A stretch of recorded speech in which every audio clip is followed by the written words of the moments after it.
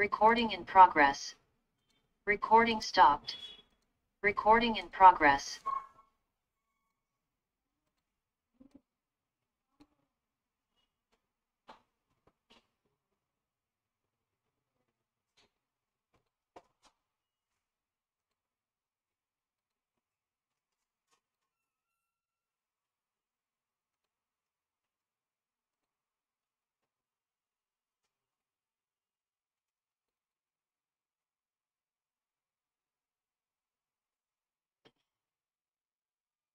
మా charging section start చేసాం.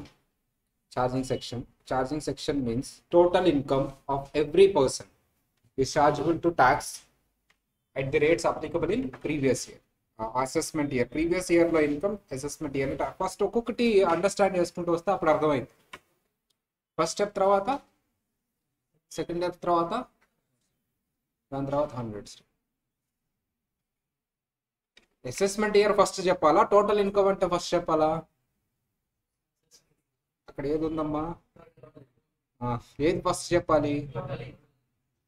తర్వాత పర్సన్ అంటే ఏంటి? దాని తర్వాత ప్రీవియస్ ఇయర్ అంటే ఏంటి? దాని తర్వాత అసెస్మెంట్ ఇయర్ అంటే ఏంటి? దాని తర్వాత ట్యాక్స్ రేట్స్ అంటే ఏంటి? అంతా అయిపోయిన తర్వాత నేను చెప్పకుండానే మీకు అర్థమవుతుంది ఏంటి అది. ఫస్ట్ ఇప్పుడు దేని గురించి డిస్కస్ చేస్తున్నాం? ఇన్కమ్ ఇన్కమ్ అంటే ఏంటి సార్ అంటే చాలా సోర్సెస్ ఆఫ్ ఇన్కమ్ ఉంటుందంట ఇన్కమ్ ట్యాక్స్లో వాటిని ఫైవ్ హెడ్స్ కింద డివైడ్ చేశారంట. ఏంటమ్మా ఆ ఫైవ్ హెడ్స్? చెప్పండి ఒకసారి. Income from salary income from house property. చెప్పాలి నోరు తెలుసు అందరూ. మెమ్మెమ్మె బెప్పెప్పే కాదు. ఎన్నిసార్లు చెప్పించుకుంటారా?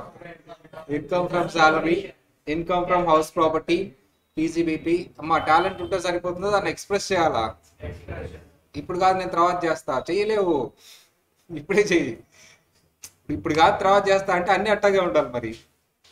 ఉండవు కాను so then income from salary income from house property next next next మా ఫైవ్ ఫోర్ హెడ్స్లో రాందంతా ఎక్కడ వస్తుందమ్మా? Income means receipt but all receipts are not income receipts two types ఉంటాయంట capital receipt revenue receipt example for capital receipt example నాన్న. Example అక్కడ ఉన్నది ఎవడని చెప్తాడు? ఒక ఎగ్జాంపుల్ ఇవ్వు.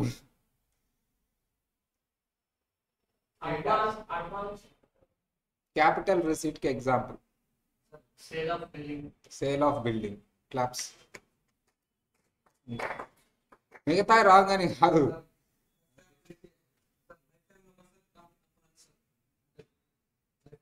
లైఫ్ టైంలో ఒకసారి బిల్డింగ్ అమ్ముతావమ్మా నువ్వు? ఇయర్లో ఒకసారి బిల్డింగ్ అమ్ముతావమ్మా నువ్వు? ఒప్పుకోట్లా అబ్బాయి. ఏం ఒప్పుకుంటావా? లేదుగా? డిప్రిసియేషన్ క్యాపిటల్ రిసీటా ఒప్పుకోట్లా విశ్వనాథ్ అనుకుంటాడు నన్ను ఎందుకు ఇన్వాల్వ్ చేస్తావు అసలు? డిప్రిసియేషన్ కాదు. దినేష్.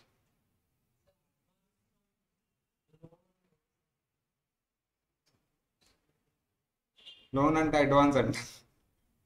ఏ విశ్వనాథ్ ఇద్దరు అంతేనా ఒప్పుకోట్లా నాట్ సాటిస్ఫైడ్ అబ్బాయి అసలు కొత్త అబ్బాయి పేరేంటమ్మా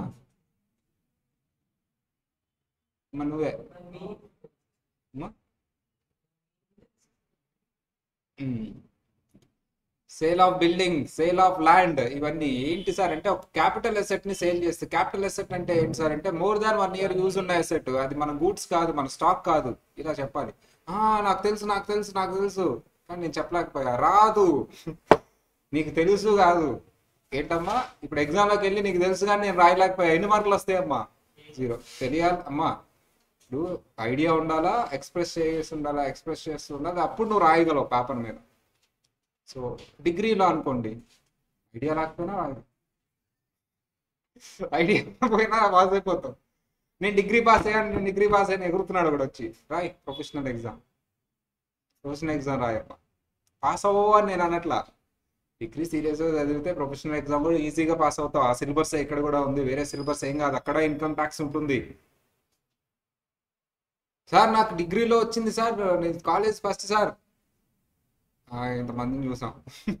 మా పిల్లలు వస్తారు డిగ్రీ ఎన్ని- ఎప్పుడు చదువుతారు? డిగ్రీ ఎన్ని రోజుల ముందు చదువుతారమ్మా? చెప్పండి.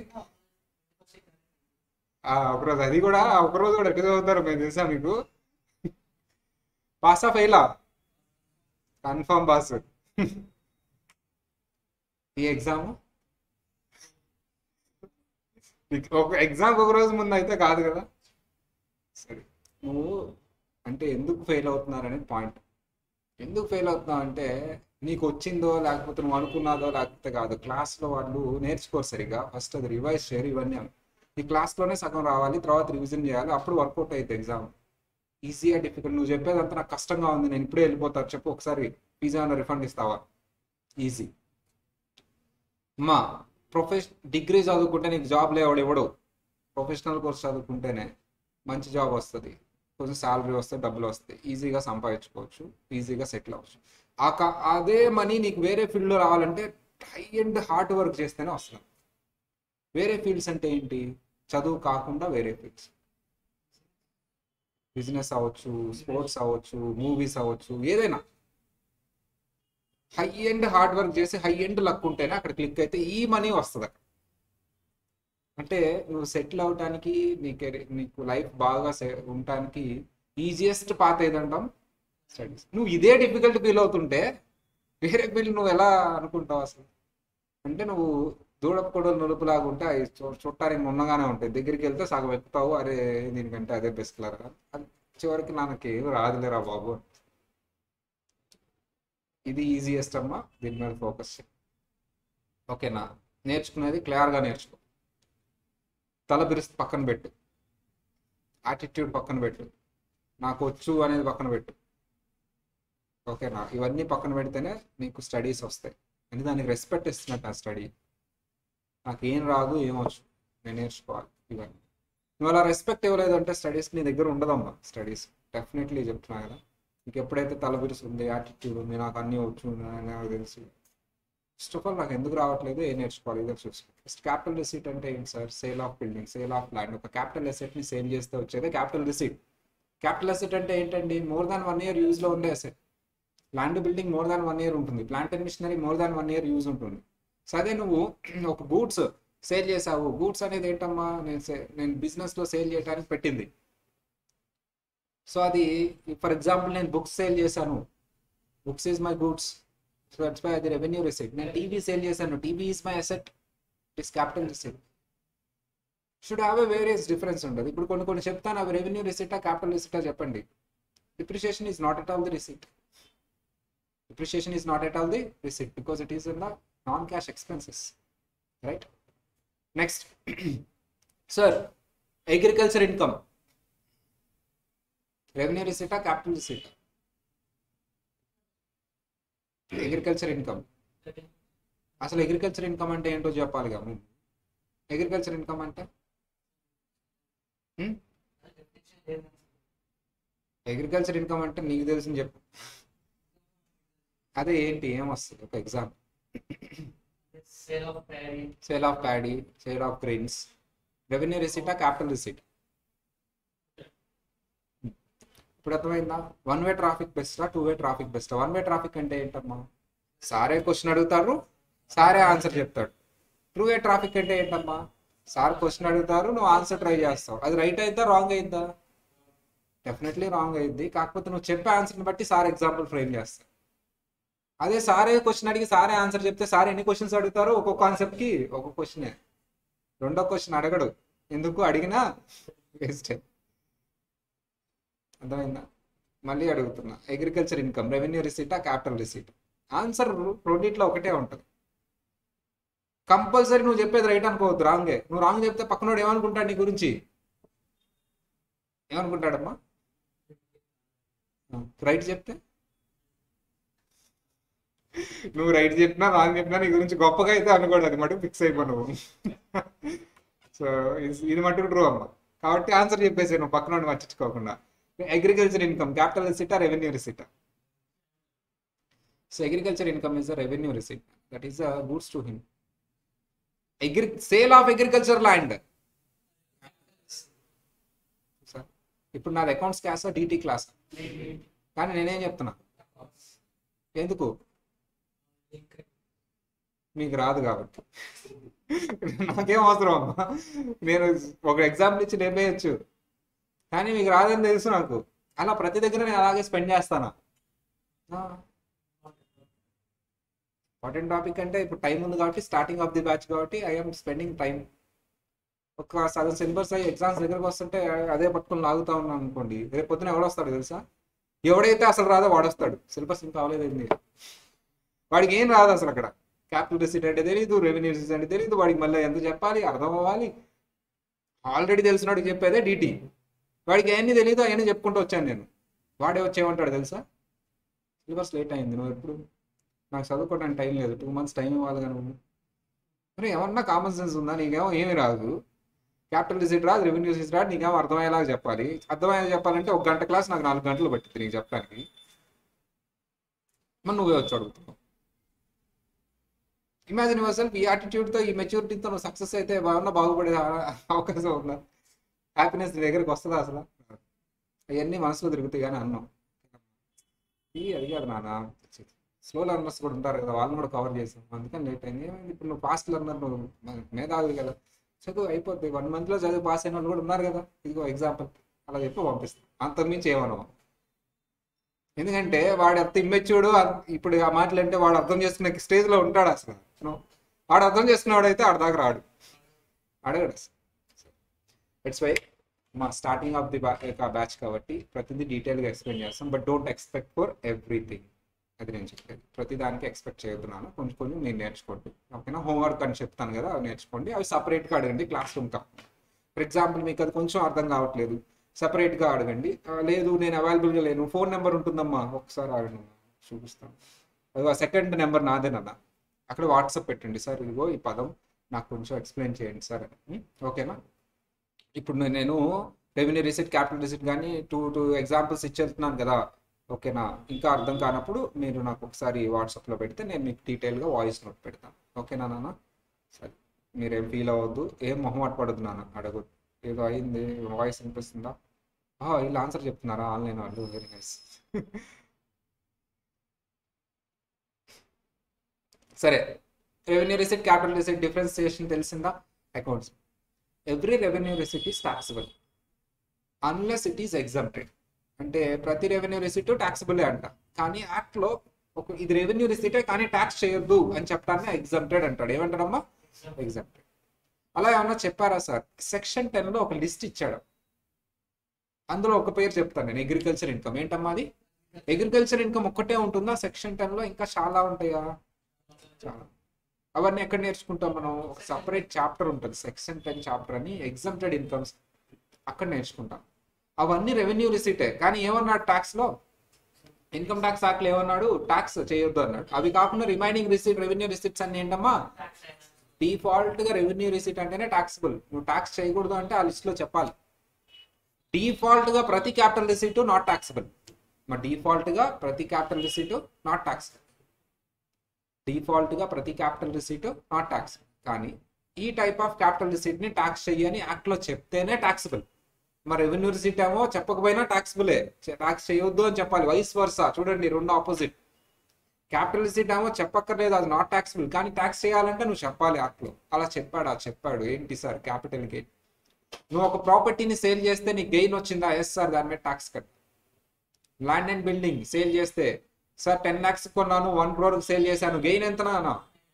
Ninety lakhs is the capital gain capital gain is the capital receipt general rule ఏంటంటే నాట్ ట్యాక్స్బుల్ కానీ యాక్ట్లో చెప్పాడు క్యాపిటల్ గెయిన్ ట్యాక్స్ చేయను. లోన్ తీసుకున్నావు క్యాపిటల్ రిసీట్ లోన్ ఏంటినా క్యాపిటల్ రిసీట్ యాక్ట్లో ఏం చెప్పలేదు నాట్ ట్యాక్స్ లయబిలిటీ అప్పు చేసావు నువ్వు నాట్ ట్యాక్స్బుల్ క్యాపిటల్ రిసీట్ రిసీటే కదా. కిడ్నీ సేల్ చేసావు డబ్బులు వచ్చినాయి క్యాపిటల్ రిసీట్ ఏంటమ్మా అది? Kidney is not your goods right it is your asset kidney goods కాదమ్మా ఎసెట్ కిడ్నీ గూడ్స్ అంటే ఏంది? ఇడ్లీలాగా అమ్ముకోవటం రోజు. It is the capital receipt ఒకవేళ యాక్ట్లో అది ట్యాక్స్ చెయ్యి అని చెప్తే చేసేవాడిని చెప్పలేదు. క్యాపిటల్ రిసిట్ అనేది చెప్తేనే ట్యాక్స్ చేయాలి. పర్సనల్ ఎఫెక్ట్స్ అంటే మన ఎసెట్స్ కిడ్నీ బ్లడ్ అర్థమైందా? క్లారిటీ వచ్చిందా? సరే. salary revenue receipt capital receipt salary? Salary revenue receipt capital receipt? Revenue receipt. Next. Income from house property? Income from house property. ఇంత confuse అవ్వకూడదు ఇంత అమాయకత్వం చూపించకూడదు. ఇన్కమ్ ఫ్రమ్ హౌస్ ప్రాపర్టీ అంటే house property rent రెంట్కి ఇస్తే రెంట్ వస్తే దాన్ని ఇన్కమ్ ఫ్రమ్ హౌస్ ప్రాపర్టీ అన్నా నేను సేల్ ఆఫ్ హౌస్ ప్రాపర్టీ అన్నా ప్రాపర్టీ ఎక్కడ కనిపిస్తే అక్కడ క్యాపిటల్ రిసీట్ అనుకోకూడదు you have to maintain clarity clarity ఎక్కడి నుంచి స్టార్ట్ అవుతుందంటే common సెన్స్తో. First you have to maintain common sense common sense ఎక్కడి నుంచి వస్తుందంటే టెన్షన్ లేకుండా ఉంది. ఎవరిని చూసి టెన్షన్ అసలు నిన్ను చూస్తుంటే భయం వేస్తుంది తెలుసు. టెన్షన్ తర్వాత నన్ను చూస్తున్నా భయం వేస్తుందా దినేష్ నన్ను చూస్తుంటే భయం వేస్తుందా? కృష్ణ నన్ను చూస్తుంటే భయం వేస్తుందా?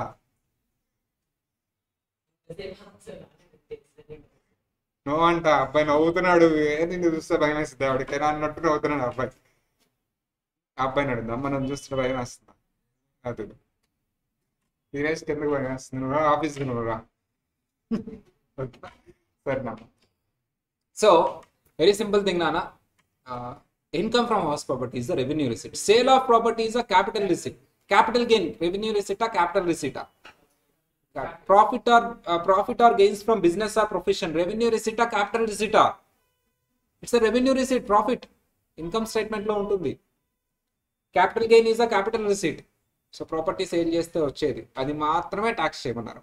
అదర్ సోర్సెస్లో కూడా రెవెన్యూ రిసిట్స్ ఉంటాయి. ఒక్క క్యాపిటల్ గెయిన్ హెడ్ మాత్రమే క్యాపిటల్ రిసిట్ మిగతా అన్ని రెవెన్యూ రిసీట్స్ అదర్ సోర్సెస్లో వచ్చేస్తే రిమైండ్ ఈ క్యాపిటల్ గెయిన్లో కూడా అన్ని ప్రాపర్టీస్ తీసుకోలేదు నాన్న. ల్యాండ్ అండ్ బిల్డింగ్ అలా ఒక సెవెన్ ప్రాపర్టీస్ని తీసుకొని వాటిని సేల్ చేస్తే వచ్చే గెయిన్నే ట్యాక్స్ చేయన్నాడు. అందులో ఒక ఎగ్జాంపుల్ తీసుకున్నా నేను. Sir very simple thing sir rural agriculture land అంటే పల్లెటూరులో ఉండే అగ్రికల్చర్ ల్యాండ్ సేల్ చేస్తే అది కూడా క్యాపిటల్ రిసీటే అది కూడా క్యాపిటల్ గెయినే కానీ నాట్ ట్యాక్స్ఫుల్ అంటే కొన్ని ప్రాపర్టీస్ మాత్రమే సేల్ చేస్తే వచ్చే గెయిన్ని ట్యాక్స్ చేయమన్నాడు. నిజానికి ఇవి క్యాపిటల్ రిసిట్సే నువ్వు ఇక్కడ చెప్పావు కాబట్టి నేను ట్యాక్స్ చేస్తున్నా. లేకపోతే every capital receipt is not tax అర్థమైందా?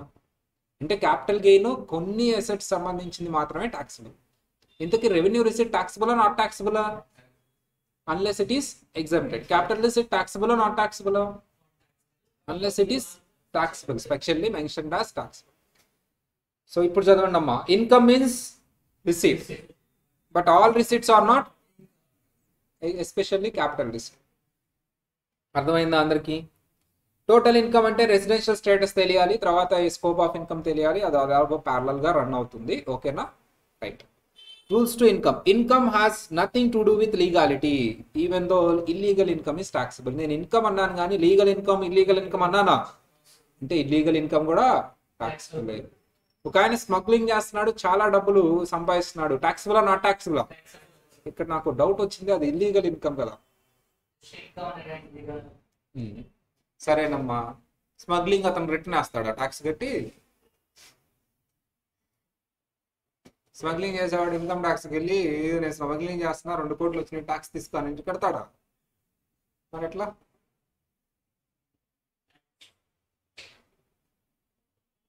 బ్యాగ్స్ కట్టేసి ఏం చేస్తున్నావా ఏంటి ఇంత బ్యాగ్స్ కడుతున్నావు? అంటే ఏ స్మగ్లింగ్.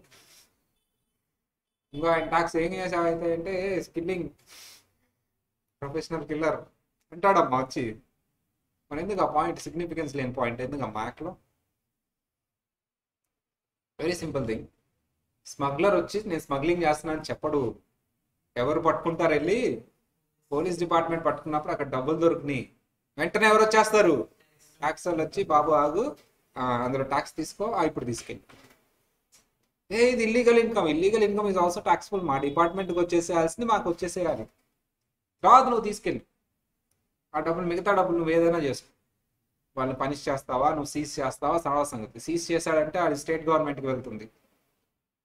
ఇదంతా నాకు తెలియదు దాని మీద ట్యాక్స్ నాకు ఇవ్వాలి. అర్థమైందా ఇప్పుడు ఆ పాయింట్ ఎందుకు రాసాము నువ్వు సీజ్ చేస్తే ఆ పోలీస్ ఆఫీసర్ ఎంత తీసుకుంటాడో ఆ స్టేట్ గవర్నమెంట్ వాళ్ళు ఎంత తీసుకుంటారో ఇవన్నీ కాదు. నువ్వు ఎంత సీజ్ చేసావు? ఓకే ఎంత? అందులో ట్యాక్స్ ఎంత? క్యాలిక్యులేట్ చేయి నాకు ఇచ్చేసి మిగతాది నీ ఇష్టం నువ్వు ఏదైనా చేసుకో. మళ్ళీ వాడికి తిరిగి ఇచ్చేసి మళ్ళీ చేసుకో ఏం పర్లేదు నాకు కొంచెం ఫండ్ ఇవ్వు అంటావా? ఇవన్నీ నీ ఇష్టం అది.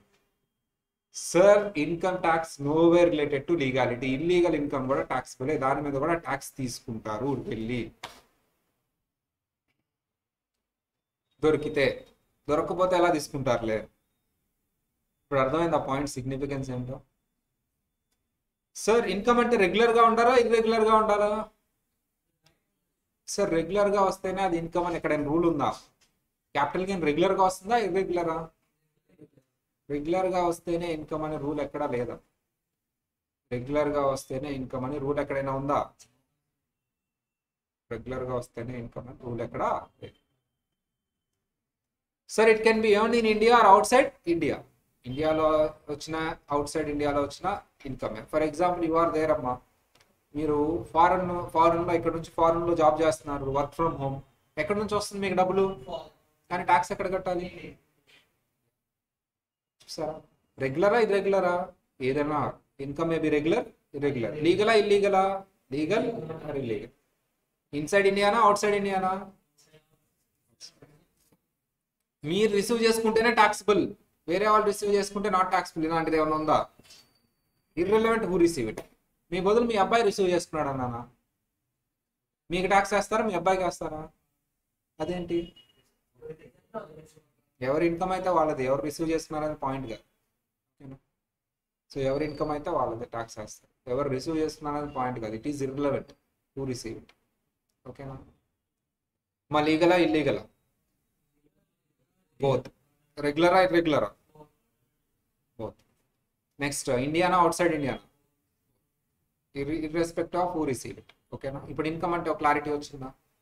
What is the second keyword in charging section charging సెక్షన్లో సెకండ్ కీవర్డ్ ఏంటి? చదవన్నాను what is the second keyword in charging section చదవాలి. పర్సన్ ఇన్కమ్ అంటే ఒకటి వచ్చింది. ఎవరు ఇన్కమ్ అంట ఇప్పుడు? పర్సన్ ఇన్కమ్ పర్సన్ అంటే ఎవరున్నారా మీరా? సో మీరంటే మీ మా మీ దగ్గర మాత్రమే ట్యాక్స్ తీసుకోవాలి. మరి కంపెనీస్ పర్సన్లో వస్తారా? రారా? అంటే ఇప్పుడు పర్సన్లో ఎవరెవరు వస్తారు? చెప్పాలా అవసరం లేదా? ఎక్కడ చెప్పాలి? డిక్షనరీలోనా ఇన్కమ్ ట్యాక్స్ యాక్ట్లోనా ఇన్కమ్ ట్యాక్స్ యాక్ట్లో డెఫినేషన్స్లో డెఫినేషన్స్ అన్ని ఏ సెక్షన్లో ఉంటాయి? సెక్షన్ అంటే ఇప్పుడు నేను ఏ డెఫినేషన్ చెప్పబోతున్నాను? పర్సన్ డెఫినేషన్ చెప్పాలి ఆల్రెడీ ఇంతకుముందు ఒక డెఫినేషన్ చెప్పాను అదేంటి? ఇన్కమ్ డెఫినేషన్ చెప్పలేదే? ఇండియా ఆన్లైన్ వాళ్ళు చెప్పారు. ఇండియా డెఫినేషన్ చెప్పాను ఆల్రెడీ నేను. ఎవరు ఏ డెఫినేషన్ చెప్పినామా ఇప్పుడు ఏ డెఫినేషన్ చెప్పబోతున్నాను పర్సన్ ఇండియా డెఫినేషన్ చెప్పాను ఆల్రెడీ ఇదిగో పైన ఉంది చూడండి. చిన్న లాజిక్ ఎట్లా మర్చిపోయాను సరే ఎనీవే ఇప్పుడు పర్సన్ డెఫినేషన్ చెప్పబోతున్నాను అమ్మా. ఏ డెఫినేషన్ చెప్పబోతున్నాను డెఫినేషన్ పర్సన్ అంటే ఫస్ట్ ఎవరు వస్తారంటమ్మా? ఇండివిజువల్ అంటే ఎవరమ్మా? సాధారణ వ్యక్తి వ్యక్తులు. మీరు వస్తారా? షోరా? నువ్వు రావా? నేను ఇన్కమ్ గురించి మాట్లాడలే పర్సన్ డెఫినేషన్ గురించి మాట్లాడుతున్నా. వస్తావా? ఇన్కమ్ ఉంటే అప్పుడు వస్తావు. పర్సన్ అయితే వస్తావు కదా? ఇండివిజువల్లో వస్తావు. ఓకే. మీరేనమ్మా ఇది. ఇప్పుడు ఇండివిజువల్ అంటే మేలా ఫీమేలా పోతా సరే వాళ్ళు కూడా వస్తారు కాబట్టి వాళ్ళ బొమ్మ కూడా వేద్దాం. Hmm. ఇండివిజువల్లో మేల్ వస్తారు ఫీమేల్ వస్తారు. చిన్నపిల్లలు వస్తారా పెద్దవాళ్ళు వస్తారు? చిన్న పిల్లలు వస్తారా పెద్దవాళ్ళు వస్తారు? ఎబో ఎయిటీన్ ఎబో ఎయిటీన్ కాదు బిలో కూడా వస్తారు. అప్పుడే పుట్టాడమ్మా ఒక రోజు అయింది వస్తాడా రాడా? అప్పుడే పుట్టాడు ఒక రోజు అయింది. ఇండివిజువల్లో వస్తాడా రాడా? వస్తాడు. అతను కూడా మనిషి అనొచ్చు వ్యక్తి అనొచ్చు అనొచ్చు. అప్పుడే పుట్టిన బేబీస్ కూడా వస్తారు. వాళ్ళ బొమ్మ కూడా వేద్దాం. వస్తారు. బాగా ఓల్డ్ పీపుల్ హండ్రెడ్ ఇయర్స్ వస్తాడా రారా అది కాదు నా డౌట్ ఇప్పుడు వస్తుంది చూడు.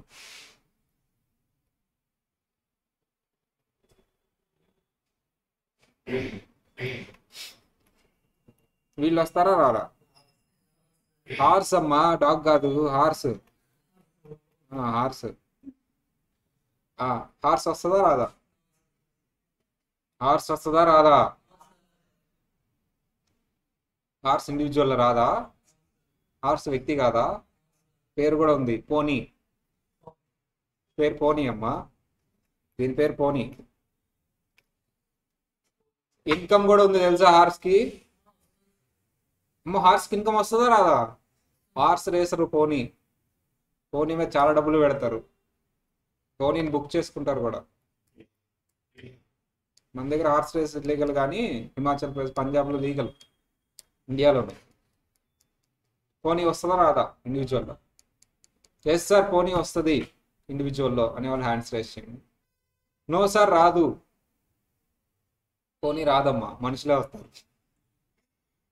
పోనీకి సంబంధించిన వ్యక్తి ఉంటాడు కదా ఓనరు అతను వస్తాడు. ఓకేనా? హుఫ్ హుఫ్ అంటే ఏంటమ్మా? దాన్ని హుఫ్ అని కూడా అంట హెచ్ఎఫ్ అనాలంట. హెచ్ఎఫ్ అంటే full form Hindu undivided family అంటే? ఉమ్మడి కుటుంబం. కలిసి ఉన్న కుటుంబం. ఉమ్మడి కుటుంబం. ఏంటమ్మా అది? ఉమ్మడి కుటుంబం. Hindu undivided family course joint family is different Hindu undivided family is different. Joint family అంటే అందరు కలిసి ఒక ఇంట్లో ఉంటాం బట్ హెచ్యుఎఫ్ అంటే ఏంటి సార్ అంటే ఒక బిజినెస్ ఉండాలి. ఒక బిజినెస్ ఉండాలి. కామన్ బిజినెస్ ఫ్యామిలీ బిజినెస్ అంటారు. ఎక్కువ మార్వాడీస్ వాళ్ళు? మన సైడ్ తక్కువే. ఏదో విడిపోతూ ఉంటారులే మన సైడ్. అన్న తమ్ముడు అక్క చెల్లి అందరూ ఒకే బిజినెస్ చేయరు అసలు. విడిపోయి బ్రాంచ్లు పెట్టుకుంటారు. ఇవి అవి వి వన్ వి టూ అని ఏవో పెట్టుకుంటారు. సో బ్రాంచ్లు పెట్టుకొని ఒకే బిజినెస్ పేరు మీద రన్ చేస్తూ ఉంటారు. ఇప్పుడు తక్కువే మన సైడ్ బట్ నార్త్ సైడ్ అటు సైడ్ మార్వాడి సైడ్ అయితే వాళ్ళు ఫ్యామిలీ బిజినెస్ అలాగే రన్ చేస్తారు. కదా? మార్వాడీస్ కానీ ఎక్కువ వాళ్ళు ఎక్కువ ఫ్యామిలీ బిజినెస్ అంటే వాళ్ళంతా అలా తరతరాలుగా ఆ బిజినెస్ రన్ చేస్తుంటారు గ్రూప్గా ఫ్యామిలీ మొత్తం. ఇటు సైడ్ కూడా మీకు ఎప్పుడైనా మార్వాడీస్ చూస్తే వాళ్ళ అన్నయ్య కాసేపు ఉంటాడు షాప్లో వాళ్ళ తమ్ముడు కాసేపు ఉంటాడు మొత్తం ఒకే ఇంట్లో ఉంటారు పెద్ద బిల్డింగ్ కట్టుకొని ఒకే బిజినెస్ చేస్తూ ఉంటారు. అలా వాళ్ళ బిజినెస్ ఉండాలి అండ్ కామన్గా ఫ్యామిలీ ఉండాలి. అప్పుడు దాన్ని హెచ్యుఎఫ్ ఓకేనా? Hindu undivided family. Next company కంపెనీకి ఒక ఎగ్జాంపుల్. కంపెనీకి ఒక ఎగ్జాంపుల్. కంపెనీకి ఎగ్జాంపుల్ అడిగా డెఫినేషన్ అడగలా. ఎగ్జాంపుల్ ఏంటమ్మా? ఇప్పుడు ఇండియన్ కంపెనీ చెప్పాలి కదా. కంపెనీస్ ఏముంటాయి? టాటా టాటా ఒకటే గుర్తొస్తుంది. ఇంకా గుర్తు రావట్లా అసలు ఇండియాలో కంపెనీస్ ఏముంటాయి అదాని. రిలయన్స్ మర్చిపోతే ఎట్లా? రిలయన్స్ అపోలో ఇన్ఫోసిస్ విప్రో టక్క టక్క చెప్పాలి. You are not engineer you are not doctor you are commerce student లోక జ్ఞానం ఎక్కువ ఉండాలి మీకు. మీకు తెలుసో లేదో ఒక ఇంజనీరింగ్ స్టూడెంట్ని ఒక డాక్టర్ స్టూడెంట్ని ఒక chartered accountant cost accountant student పక్కన పెడితే ముగ్గురులో ఎవరికి లోక జ్ఞానం ఎక్కువ ఉంటుందమ్మా? అకౌంటెంట్కి ఎక్కువ ఉంటది. ఎందుకంటే మన సబ్జెక్ట్ అది. అప్పుడు వెళ్ళి మీరు బెబ్బెబ్బ అన్నారు అనుకోండి ఎవడో చెప్పాడు అంటారు. ఎవడో చెప్పాడు ఇంజనీర్ డాక్టర్ కంటే cost account chartered account student లోక జ్ఞానం ఎక్కువ అంట ఏది ఎక్కడ అంటారు? మనకు ఉండాలి ఉంటుంది ఉండాలి. బడ్జెట్ గురించి చెప్తాం మనం. డాక్టర్ బడ్జెట్ గురించి చెప్పండి. బడ్జెటా కిడ్నీయా అంటాడు. సో అలా ఇంజనీర్ బడ్జెట్ గురించి చెప్పండి. Computer chip electronic but we can talk about the economy we can talk about the business we can talk about the ఇప్పుడు వెళ్ళి మీరు ఇంటర్నెట్ ఫైనల్ కోచింగ్ అయిపోయిన తర్వాత బండోడ్ గురించి బిజినెస్ గురించి చెప్తావు. షేర్ మార్కెట్ గురించి మాట్లాడతావు నువ్వు. బడ్జెట్ గురించి మాట్లాడతావు నువ్వు. ఆ, మీ రిలేటివ్స్ సరైన అసెట్ అడుగుతుంటే సేల్ చేస్తుంటే నీకు ఫోన్ చేస్తారు. అసెట్ సేల్ చేస్తున్నాను. క్యాష్లో ఎంత తీసుకోవాలి. బ్యాంక్లో ఎంత తీసుకోవాలి అంతే కదా నాన్న? వాడికి జలుబు చేసింది నీకు ఫోన్ చేయడు. ఎవరు ఫోన్ చేస్తాడు కానీ నీకు మాత్రం రోజు చేస్తాడు నెలకోసారి చేస్తాడు. సంవత్సరానికి ఒకసారి మాత్రం గ్యారంటీ చేస్తాడు. సరే డాక్టర్కి ఎప్పుడు ఫోన్ చేయకూడదని కోరుకుంటాడు బట్ నీకెప్పుడు చేయాలని కోరుకుంటాడు. ఎందుకు? నీకు చేశాడంటేనే వాడికి డబ్బులు ఎక్కువ ఉంటుంది సరే. నీకు ఫోన్ చేస్తేనే నువ్వు డబ్బులు మిగిల్చే మాటలు చెప్తావు. ట్యాక్స్ తగ్గించే మాటలు చెప్తావు ట్యాక్స్ ప్లానింగ్ వాడికి ఫోన్ చేస్తే టాబ్లెట్లు చెప్తాడు. సో కాబట్టి జాగ్రత్తగా బాగా చదువుకోండి అట్లాగే ఫిక్స్ అయ్యి నేను రిలేటివ్స్ అండి ఫ్రెండ్స్ అందరికీ ఫ్రీ రిటర్న్ ఫ్రీ రిటర్న్ అన్నాను. ఇప్పటికి అది కంటిన్యూ అవుతుంది. సో మా స్కూల్ ఫ్రెండ్స్ ఉంటారు కదా మా టెన్త్ క్లాస్ స్కూల్ ఫ్రెండ్స్ వాళ్ళందరూ ఇప్పుడు నా దగ్గరే రిటర్న్ ఫ్రీ అనమాట రూపాయి కూడా తీసుకుని రిలేటివ్స్కి ఫ్రెండ్స్కి ఫ్రెండ్స్ అంటే అందరు ఫ్రెండ్స్ కాదు టెన్త్ క్లాస్ స్కూల్ మేట్స్ నా స్కూల్లో నా టెన్త్ క్లాస్ ఫ్రెండ్స్ అంతా ఇప్పుడు నాది ఒక్కొక్క డాక్టర్ అవన్నీ అయ్యారు పెద్ద పెద్ద వాళ్ళు పెద్దగా అయిపోయారు. రిటర్న్ నా దగ్గరే ఉంటుంది ఫ్రీగా వేస్తాను నేను. అంటే నేను వాళ్ళకి ఇచ్చే కాంట్రిబ్యూషన్ మా ఫ్రెండ్ డాక్టర్ ఉన్నాడు. వాడు ఫ్రీగా ఏం చూడట్లేదు కానీ అడ్వైజ్ అయితే ఇస్తాడు. సో అంటే మనం మన చేతిలో ఉండేది కాబట్టి రిటర్న్ మనకి ఏం ఖర్చు అవ్వదు కాబట్టి నేను ఫ్రీగా వేస్తున్నాను డాక్టర్ అలా కాదు కదా. ఎక్విప్మెంట్ వాడాలి హాస్పిటల్ వాడాలి. ఏదో ప్రిస్క్రిప్షన్ ఏదైనా చెప్తాడు కానీ ఫ్రీగా ఆపరేషన్ అంటే అతని చేతిలో ఉంటుంది సో మేము అనుకున్నాం అది మా టెన్త్ క్లాస్ ఫ్రెండ్స్ ఒక అలాగే మీరు కూడా అనుకోవద్దు. బయట మరి భయంకరంగా తిడుతున్నారు. నువ్వు ఫ్రీగా వేస్తుంటే వాళ్ళు కూడా ఫ్రీగా ఎక్స్పెక్ట్ చేస్తున్నారని. ఇంత కష్టపడి చదివి రాత్రి పగలు కూర్చుని అది ఫ్రీ అంటే చాలా కరెక్ట్ కాదు అని. బయట మా భయంకరంగా ట్రోలింగ్ వస్తుంది. నా గురించి అయితే చెప్పొద్దమ్మా. నేనేదో మా ఫ్రెండ్స్ నలుగురు ఐదుగురు వేసుకుంటున్నాను కంపెనీ ఫామ్ ఫామ్ అంటే పార్ట్నర్షిప్ ఫామ్ అమ్మా. ఓకేనా? నెక్స్ట్ వన్ ఏఓపి బివాయ్ అమ్మా ఇప్పుడు మాదేంటి? Partnership firm. ఓకేనా? ఏఓపి బివై అంటే అసోసియేషన్ ఆఫ్ పర్సన్స్ బివై అంటే బాడీ ఆఫ్ ఇండివిజువల్స్ రైట్ నాన్న? అక్కడ ఏఓపి అంటే ఏంటి నాన్న? అసోసియేషన్ ఆఫ్ పర్సన్స్ బిఓఐ అంటే ఏంటి నాన్న body of individuals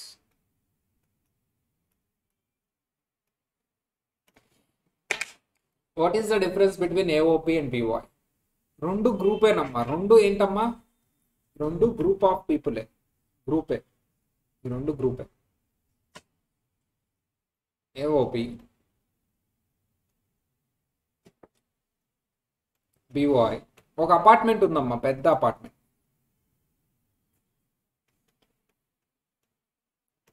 four floors ఉన్నాయి. ఇది కూడా ఫోర్ ఫ్లోర్స్ ఉన్నాయి. ఓకేనా అపార్ట్మెంట్ ఉంది. ఇప్పుడు ఏఓపి బీఓఐ అంటే ఏంటో చూద్దాం. ఈ అపార్ట్మెంట్స్ అందరు అన్నిట్లో ఇండివిజువల్సే ఉన్నారు. ఎవరమ్మా? ఇండివిజువల్స్ వీళ్ళందరికీ కామన్ ఎక్స్పెన్సెస్ ఉంటాయి కదా. ఏంటి అవి? Lift watchman compound lighting garden maintenance ఇవన్నీ కామన్ ఎక్స్పెన్స్. అందుకని వీళ్ళందరూ గ్రూప్ లా ఫామ్ అవ్వాలి. అసోసియేషన్. అలా ఫామ్ అయిన దాన్నే బాడీ ఆఫ్ ఇండివిజువల్స్ అనొచ్చు. అసోసియేషన్ ఆఫ్ పర్సన్ అని కూడా అనొచ్చు. Because individual is a person. ఇక్కడ ఇంకో అపార్ట్మెంట్ కానీ గ్రౌండ్ ఫ్లోర్లో రిలయన్స్ మార్ట్ ఉంది. రిలయన్స్ అనేది ఏంటమ్మా? కంపెనీ. థర్డ్ అమ్మా సెకండ్ సెకండ్ ఫ్లోర్లో అంటే ఫస్ట్ ఫ్లోర్లో పార్ట్నర్షిప్ ఫామ్ ఉంది. ఈ పైన ఇద్దరేమో ఇండివిజువల్స్ ఉన్నారు. ఇప్పుడు దీన్ని బాడీ ఆఫ్ ఇండివిజువల్స్ అనకూడదు. బాడీ ఆఫ్ ఇండివిజువల్స్ అంటే ఎవరు మాత్రమే ఉండాలి? ఇండివిజువల్స్ ఇప్పుడు వీళ్ళు ఇండివిజువల్స్ అయినా వేరే వాళ్ళు కూడా ఉన్నారా?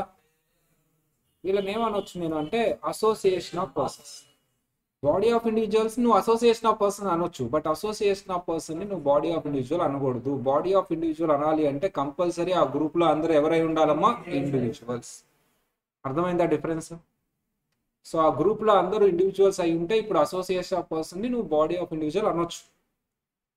Every body of individual is the association of person but every association of person is not a body of individual so association of person ఎప్పుడు బాడీ ఆఫ్ ఇండివిజువల్ అవుతుంది అంటే ఆ గ్రూప్లో అందరూ ఎవరై ఉండాలమ్మా? ఇండివిజువల్స్ అయి ఎగ్జాంపుల్ అపార్ట్మెంట్స్ అందరూ అసోసియేషన్ అవుతూ ఉంటారు. అవన్నీ ఇంకా ఎగ్జాంపుల్ తీసుకోవచ్చు. Next local authority local authority అంటే ఏంటి సార్? అంటే G M C G M C అంటే ఏంటమ్మా? Guntur municipal corporation. Panchayats. Panchayats అంటే ఎక్కడ ఉంటాయమ్మా పంచాయతీస్. సో మున్సిపాలిటీస్ ఇవన్నీ లోకల్ అథారిటీస్ అంట. పంచాయతీస్ మున్సిపాలిటీస్ వీటన్నిటిని ఏమంటారమ్మా? Local authorities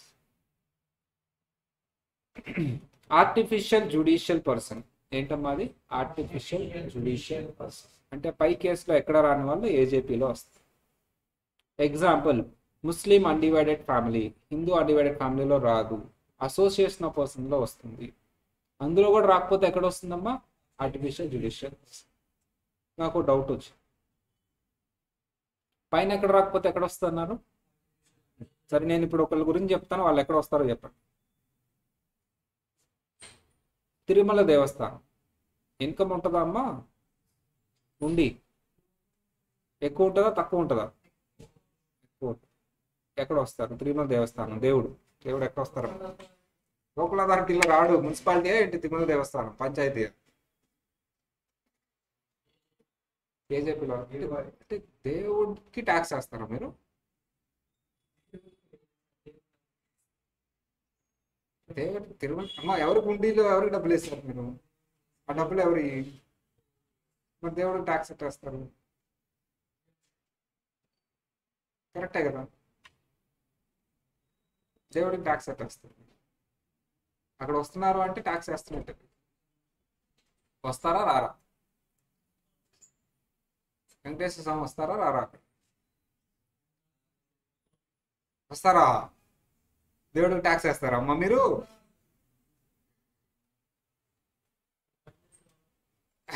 అక్కడ పనిచేసే వాళ్ళకి ఎలాగో ట్యాక్స్ వేస్తారులే సాలరీ ఇస్తారు కాబట్టి. నేను అడిగేది హుండి.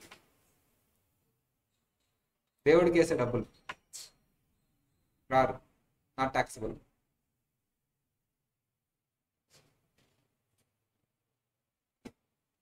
టీటీడీకి వచ్చే డబ్బులు చాలా వస్తాయి అమ్మా లెక్క పెడతా ఉంటారు. అవి ట్యాక్సిబుల్ నాట్ ట్యాక్సిబుల్ అవి దేవుడి డబ్బులు. దేవుడికి వేసిన డబ్బులు. గవర్నమెంట్ మున్సిపాలిటీ అంటే గవర్నమెంటేగా మున్సిపాలిటీని వదులుతున్నాం అంటున్నాం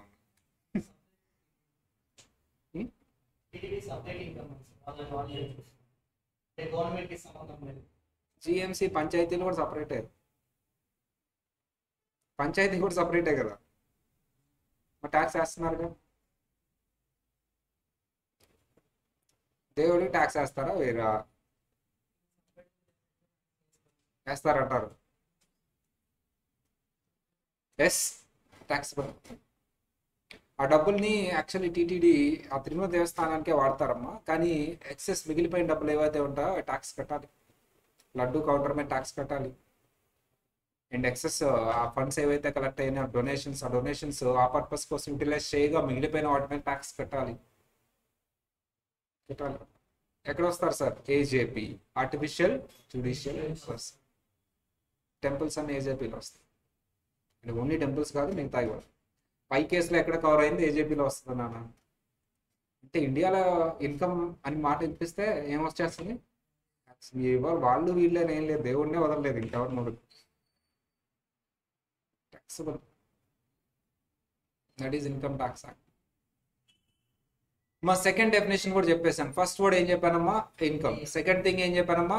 పర్సన్ ఇప్పుడు థర్డ్ వన్ చెప్పబోతున్నాను. చెప్పే ముందు అదే నేను ఇప్పుడు కన్క్లూడ్ చేయబోతున్నాను. సార్ ఏఓపి పిఓఐ ఏజేపి వీటన్నిటిని మీరు అడగవచ్చు సార్ అక్కడ బిజినెస్ మోటివ్ లేదు కదా ప్రాఫిట్ మోటివ్ లేదు కదా అని అడగొచ్చు. అమ్మ నాట్ ఫర్ ప్రాఫిట్స్ కదా టీటీడీ అవన్నీ. సార్ అక్కడ మ్యాటర్ నాట్ ఫర్ ప్రాఫిట్సా ప్రాఫిట్సా కాదు. It is irrespective whether they are formed for driving income or profit irrespective అన్న వాళ్ళ ఇన్కమ్స్ డొనేషన్స్ అంటే ఇన్కమ్స్ వాళ్ళ ఎక్స్పెన్సెస్ ఇన్కమ్స్ ఓవర్ ఎక్స్పెన్సెస్ నేను రెవెన్యూ ఆర్ ప్రాఫిట్ కింద తీసుకుంటాను దాని మీద నేను ట్యాక్స్ వేసేస్తాను నువ్వు ఏ పర్పస్ ఫామ్ అయ్యావు? బిజినెస్ చేయడానికి ఫామ్ అయ్యావా? చారిటీ చేయడానికి ఫామ్ అయ్యావా? లేకపోతే నువ్వు అసలు ప్రాఫిట్ మోటివ్నే నీకు లేదా? నాకు సంబంధం లేని విషయం ఇది. ఇర్రెస్పెక్ట్ ఓకేనా ప్రాఫిట్ మోటివ్ ఉంటేనే ట్యాక్సిబుల్ మేము ప్రాఫిట్ మోటివ్లో లేము. మేము చారిటీ నాట్ ట్యాక్సిబుల్ అన్న రూల్ ఏమన్నా ఉందా? Even charities are also taxable if they have collected the money donations collect చేసి ఆ పర్పస్ కోసం యూటిలైజ్ చేయగా మిగిలిన దాని మీద ట్యాక్స్ కట్టాలి. నువ్వు మొత్తం యూటిలైజ్ చేసావా? నాట్ ట్యాక్సిబుల్ నువ్వు కలెక్ట్ చేసిందంతా యూటిలైజ్ చేసావా? ఏముందంటే నాట్ ట్యాక్సిబుల్ జీరో కదా. సర్ప్లస్ జీరో కదా. ఓకేనా సరే. సార్ సెక్షన్ అంటే ఏంటంటే డివిజన్ ఆఫ్ యాక్ట్ అమ్మ యాక్ట్ని డిఫరెంట్ పీసెస్ కింద డివైడ్ చేశారు దాన్ని సెక్షన్ అంటారు. ఎన్ని సెక్షన్స్ ఉన్నాయి? ఇన్కమ్ ట్యాక్స్ యాక్ట్లో two ninety eight act any enactment passed by the parliament ఒక యాక్ట్ అంటే ఏంటమ్మా? పార్లమెంట్ అప్రూవ్ చేసింది. ప్రెసిడెంట్ గారు సైన్ చేసి అప్రూవ్ చేసింది. పార్లమెంట్లో పాస్ అయింది. పార్లమెంట్ అంటే both the houses both the houses అంటే ఏంటి నాన్న? Lok Sabha Rajya Sabha lower house upper house. Budget కూడా మన లోక్సభలో ప్రజెంట్ చేశారు. మళ్ళీ రాజ్యసభలో డిస్కస్ చేస్తారు. వీలుంటే ఖాళీ అయినప్పుడు చూడండి అమ్మా. అంటే నేను ఎందుకు చూడమని అడుగుతున్నా అంటే వెరీ సింపుల్ థింగ్ అమ్మా. అంటే మరీ పాలిటిక్స్ గురించి అంత డీటెయిల్గా తెలుసుకోకపోయినా బేసిక్ నాలెడ్జ్ మెయింటైన్ చేయండి. అన్నిటి మీద బేసిక్ నాలెడ్జ్ మెయింటైన్ చేయండి. బికాస్ మేక్ ఏ హాబీ అంటే ఇప్పుడు అంత టైం ఉండదు కాబట్టి మన బుక్స్ మన బుక్స్ చదువుకోవడానికి టైం ఉండదు. అమ్మా రియల్గా చెప్తున్నాను కానీ మన సిలబస్ మన ఇన్స్టిట్యూట్ ఇచ్చిన బుక్స్ చదవడానికి మీకు టైం ఉండదు. బట్ నేనేం చెప్తానంటే బ్రెయిన్ రిలీఫ్ అవడానికి ఒక హాబీని మెయింటైన్ చేయండి. ఆ హాబీ మీకు ఫ్యూచర్లో రెవెన్యూని జనరేట్ చేసే హాబీ లాగా చేసుకో ఫర్ ఎగ్జాంపుల్ నేనున్నాను షేర్ మార్కెట్ ఎక్కువ వాచ్ చేస్తున్నాను. అది నా హాబీ చిన్నప్పటి నుంచి. ఇప్పుడు అదే నాకు యూజ్ అవుతుంది. అంటే ఎడిషనల్ ఇన్కమ్ జనరేట్ చేస్తుంది. ఫర్ ఎగ్జాంపుల్ షేర్ మార్కెట్తో పాటు నేను మూవీస్ కూడా ఎక్కువ చూసేవాడు. రిలీఫ్ కోసం.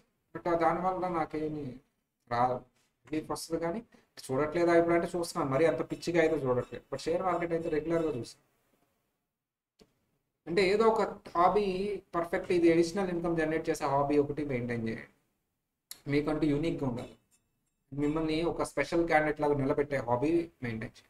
అలా అని మీ స్టడీస్ని ఎఫెక్ట్ చేసేది హాబీ మెయింటైన్ చేయాలి షేర్ మార్కెట్ నా స్టడీస్కి బూస్ట్ ఆన్ అయింది కానీ ఎప్పుడు స్టడీస్ని ఎఫెక్ట్ చేయాలి మూవీస్ కొంచెం అది నన్ను ఎఫెక్ట్ చేసినట్టు అనిపించి నేను తగ్గించేసి నా కెరియర్ని కానీ నా స్టడీస్ని కానీ అలా అని చూడకుండా అయితే వదిలేనమ్మా మెయిన్ మెయిన్ మూవీస్ చూస్తాను.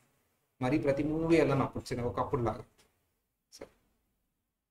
అలా ఒకప్పుడు ఓటీటీలో వచ్చిన ప్రతి సిరీస్ ఓటీటీలో వచ్చిన ప్రతి మూవీ థియేటర్లో వచ్చిన ప్రతి మూవీ చూసాను నాకే అనిపించింది దీనివల్ల నా కెరియర్ ఎఫెక్ట్ అవుతుంది కదా ఆపేసి ఓటీటీ లేదు ఏం ఏం సిరీస్ చూడట్లా.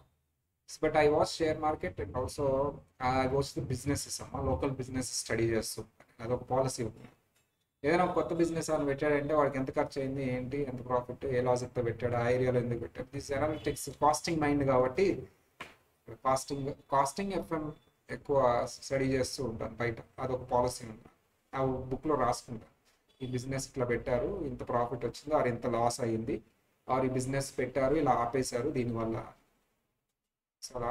అంటే not only share market local businesses కూడా స్టడీ చేస్తాను సో అలా. ఇది నా హాబీ అనమాట చిన్నప్పటి నుంచి ఇప్పటి నుంచి కాదు. చిన్నప్పుడు అంటే I think fifth class sixth class నుంచి నాకు అది ఉండేది. ఏదైనా ఎవరైనా షాప్ పెట్టాడంటే ఎంత అవుతుంది ఏంటి? మా ఇంటి దగ్గర ఒక ఉసిరికాయ చెట్టు ఉంటే అది సేల్ చేసేది. డైలీ ఎంతమంది వచ్చి కొంటారు ఎంతకు సేల్ చేస్తున్నారు ఒక్కొక్కరికి ఎన్ని ఇస్తున్నారు ఏంటి అన్ని కూర్చుని తెలుసుకున్నాను అలా ప్రతి దాని గురించి తెలుసుకోండి బిజినెస్ గురించి. ఓకే బిజినెస్ ఇంత రెవెన్యూ జనరేట్ అవుతుంది. దానివల్ల ఎంత ప్రాఫిట్ వస్తుంది. Okay nice. దానివల్ల ఎంత లాస్ వస్తుంది. అంటే ఇప్పుడు నేను ఒక బిజినెస్ చూడగానే అది ప్రాఫిటబుల్గా లాస్ వస్తుందా ఫ్యూచర్లో అని చెప్పేసే కదా. దానివల్ల గుడ్ విల్ జనరేట్ అవుతుందా లేదా? This is a hobby you have to generate ఇప్పుడు కాదులే అంత టైం లేదు ఇప్పుడు. చిన్నప్పటి నుంచి ఉండాలి but after the free time. Okay? So అలా అప్పుడు దాన్ని బట్టి ఒక లోక జ్ఞానం వస్తుందన్న. జనరల్ రూల్ అదే పార్లమెంట్ అవన్నీ చూస్తూ ఉండండి. ఖాళీ ఉన్నప్పుడు అయితే చూడండి. పార్లమెంట్ సెషన్ చూడండి కంప్లీట్ బడ్జెట్ సెషన్ చూడండి మీకు బాగుంటుంది. మన సబ్జెక్ట్ కూడా హెల్ప్ అవుతుంది. అసెంబ్లీ చూడండి. వాళ్ళంతా తిట్టుకుంటూ ఉంటారు మన స్టేటస్ అది కొద్దిగా మంచిగా ఉన్నది చూడండి session assembly session. General rule ignorance of law. Has no experience example నువ్వు ట్రాఫిక్ వెళ్తూ ఉన్నావు రెడ్ లైట్ వేసారు అయినా సరే వెళ్తూ ఉన్నావు ఎవరినో గుద్దేశావు ఎవరు ఆపాడు పోలీస్ ఆఫీసర్ ఇట్లా నువ్వు ఆగలేదంటే నాకు తెలుస్తారా నాకు ఏమంటాడు? తెలుసా తెలియదా కాదు తెలుసుకోవాలి నువ్వు. పనిష్మెంట్ ఇస్తాడు. నిజంగానే నీకు తెలియదు బా ఆయన వదిలేస్తారా? సార్ అలా అలా నువ్వు చెప్పి వదిలేశాడంటే ప్రతి ఒక్కళ్ళు అదే చెప్తాడు నాకు తెలియదనే చెప్తాడు తెలిసినాడు అందుకని ఎక్స్క్యూజ్ ఇస్తున్నారా తెలియట్లేదు? ఇన్కమ్ సంపాదించారు? ట్యాక్స్ కట్టలేదు. ఏంటా ట్యాక్స్ కట్టలేదు అంటే నిజంగా నాకు తెలియదు సార్ ఇన్కమ్ ట్యాక్స్ ఒకటి ఉంటుందండి నేను చదువుకోలేదు సార్. తెలుసుకోవాలా? నిన్ను వదిలేశారంటే ప్రతి ఒక్కరు అదే చెప్తాడు ట్యాక్స్ కట్టు నాకు తెలియదు అని చెప్తాడు.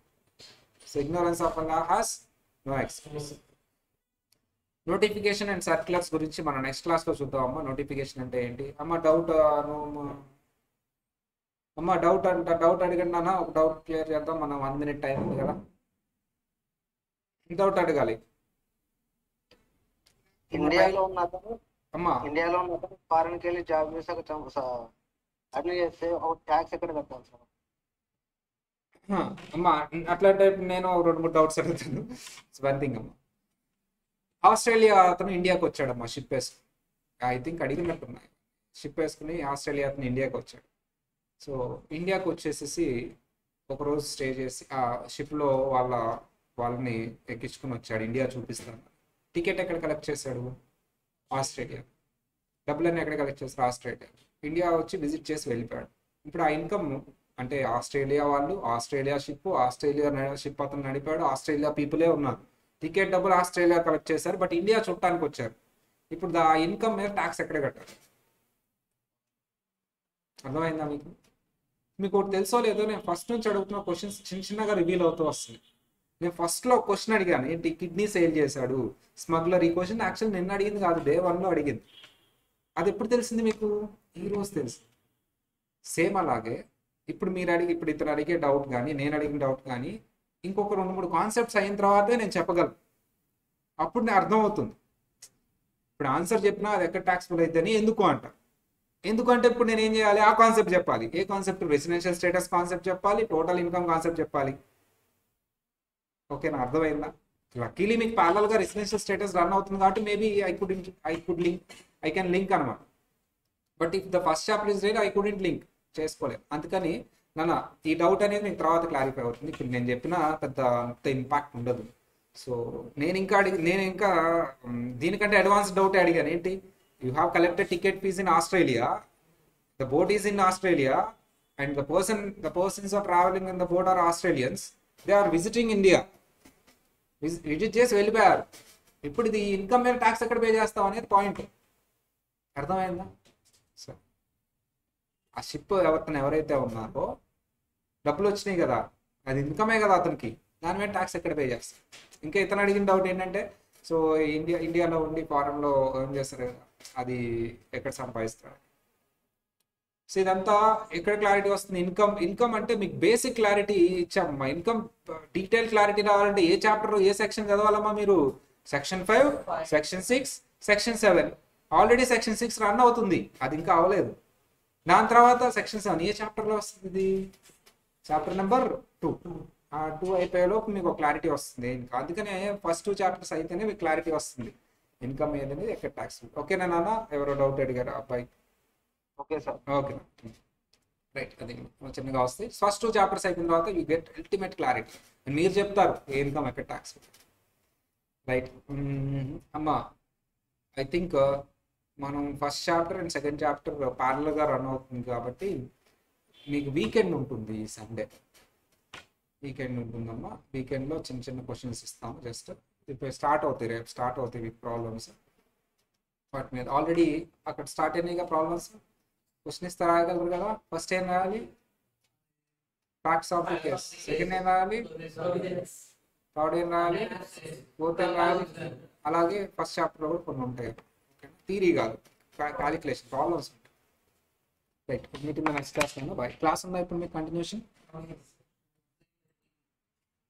మళ్ళీ ఎప్పుడమ్మా? త్రీ థర్టీ స్టడీ అవర్ కాబట్టి చదువుకున్నానా ఇప్పటి వరకు నేను చెప్పినంత చదవండి. Recording stopped